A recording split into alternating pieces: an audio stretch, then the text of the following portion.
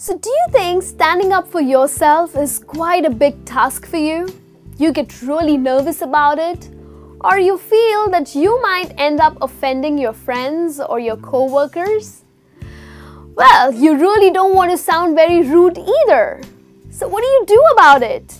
You definitely want to stand for yourself, you definitely want to be assertive, but you do not want to sound rude. So, we have a session for you on Skillopedia where you will learn tips that would help you to be assertive and not sound rude. So, what are you waiting for? Watch this video on Skillopedia, the place to learn skills for the real world.